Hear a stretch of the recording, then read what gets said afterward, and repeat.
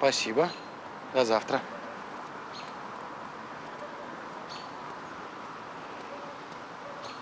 Итак, вы задержаны по подозрению в похищении человека. А можно сказать конкретно, какого? Молодой девушки.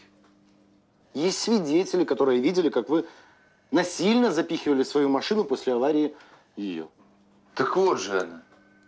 Я могу подтвердить, что эти люди силой меня никуда не запихивали. Да, и я могу подтвердить. Я свидетель, я в машине сидел, все видел. Да откуда же я могу знать, что это именно та девушка?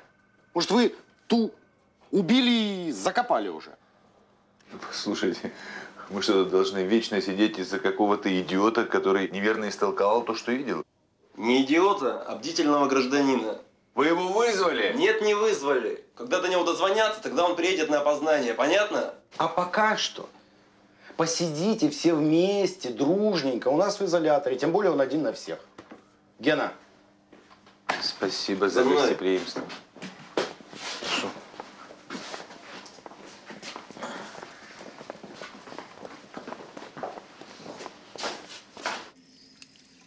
Невезучая для меня эта